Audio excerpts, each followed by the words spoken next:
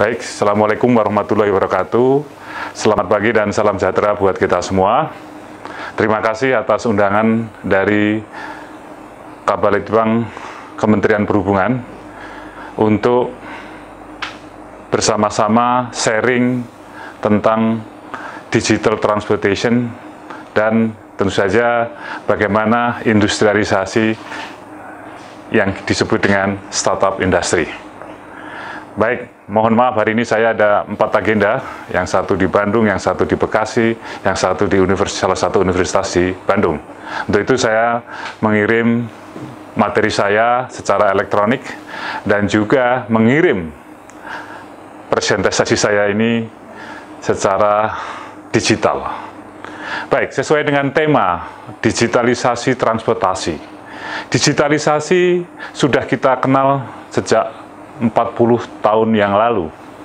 Namun demikian, mulai banyak digunakan di masyarakat mungkin tahun 1990-an yang mendigitalkan uh, apa namanya uh, tulisan, database dan sebagainya. Nah, kemudian ada mencoba mendigitalkan aspek-aspek kehidupan lain aspek-aspek ataupun aset-aset menjadi uh, digital. Tujuannya digital adalah setelah informasi itu ditransformasi ke digital, maka semua aset atau semua komponen atau semua data digital tersebut akan bisa diproses dalam suatu apa eh, penyimpanan dalam proses suatu pengiriman processing yang lain sehingga semua kejadian yang ada yang bisa digitalkan bisa diolah secara terintegrasi. Nah awalnya hingga tahun 2000 mulai populer lah apa yang disebut dengan WordStar, WordPerfect, uh, kemudian database, Excel dan sebagainya. Namun demikian perkembangan teknologi digital dengan uh, more teori bahwa tiap tahun kapasitas pengiriman maupun kapasitas penyimpanan dan pemrosesan itu meningkat dua kali dan seterusnya. Sehingga bisa kita lihat perkembangan kemampuan dari elektronik itu bisa eksponensial. Sehingga muncullah istilah elektronifikasi. Dalam elektronifikasi di situ eh, ada sebagian mitra yang terlibat ada e-payment, ada e-head, dan sebagainya. Jadi digitalisasi pada awalnya itu hanya dilakukan oleh sekelompok tertentu, artinya dalam kalangan terbatas. Misalkan kantor sudah mulai dengan uh, apa uh, digitalisasi kertas, digitalisasi ataupun uh, apa database yang digital. Namun tahun 2000 sudah mulai berkembang e-government, e-health, dan seterusnya sampai e-transportation. Nah, di situlah mulai ada transaksi, ada partisipan, sebagian dari masyarakat sudah mulai terlibat untuk melakukan transaksi, transaksi keuangan, transaksi data, dan sebagainya. Nah, tahun 2014, tahun 2015, mulai dengan open society. Semua bisa ikut terlibat. Sepanjang akses informasi bisa dilakukan. Termasuk eh, hal-hal uh, yang berkaitan dengan open society, open data, dan sebagainya. Nah, itu akan semakin membuat kontribusi terhadap efisiensi maupun efektivitas dari aktivitas keseharian kita.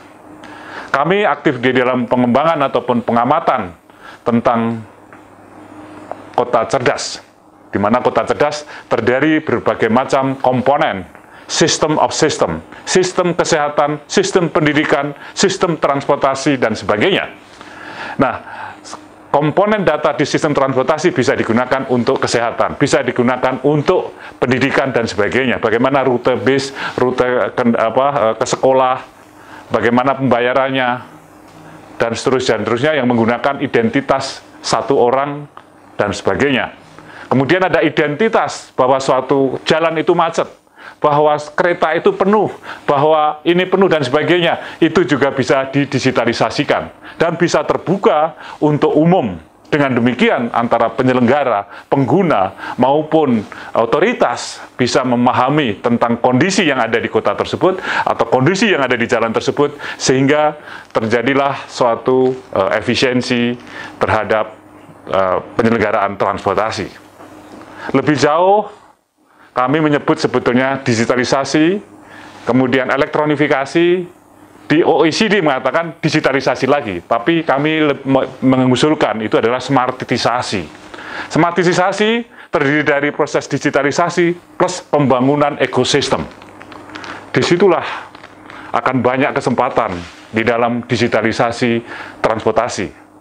Mulai bangun tidur, mendigitalkan bagaimana saya harus pergi ke kantor saya, bagaimana saya harus pergi ke sekolah saya, bagaimana saya harus ke rumah sakit, dan seterusnya kemudian mengetahui di manalah, di manakah uh, tempat halte kereta, tempat halte bis dan sebagainya. Kemudian kalau naik mobil, bagaimana kondisi parking? Kemudian kalau kita ke luar negeri ataupun ke daerah yang jauh, bagaimana multimoda kita? Mulai naik kereta, pesawat, bis, ojek, dan sebagainya. Di situlah data driven. Penting sekali untuk mendigitalkan transportasi. Mengetahui perjalanan, estimate time arrival, ini juga penting. Nah, nanti akan me, me, meningkat kepada program-program smart mobility. Katakanlah Bandung, Jakarta, estimate time arrivalnya tidak jelas. Apa bisa 6 jam, bisa 4 jam, bisa 3 jam. Nah, di situlah nanti perlu, oh ya, kita perlu suatu sistem transportasi atau sistem mobility yang bisa me, apa, mengestimate kedatangan. Banyak kerugian negara jika kita tidak bisa memperkirakan waktu kedatangan kita di suatu tujuan. Inilah suatu bagian dari apa namanya eh, peradaban. Sistem mobility bagian dari peradaban karena gerakan orang, gerakan barang menjadi suatu bagian e, pertumbuhan dari suatu kota maupun suatu daerah.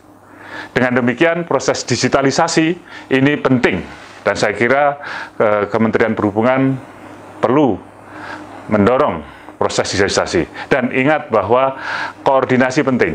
Kemudian integrasi saja mungkin ada kesulitan. Nah, konsep-konsep kolaborasi antara pengguna, kemudian juga dengan uh, industri, kemudian multi industri yang multi apa multimoda dan juga kepada pengangkutan barang dan sebagainya. Tantangan yang cukup baris.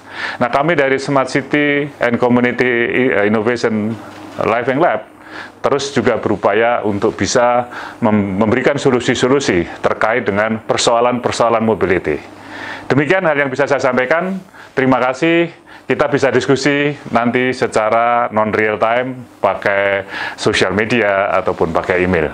Mohon maaf kurang lebihnya. Wassalamualaikum warahmatullahi wabarakatuh.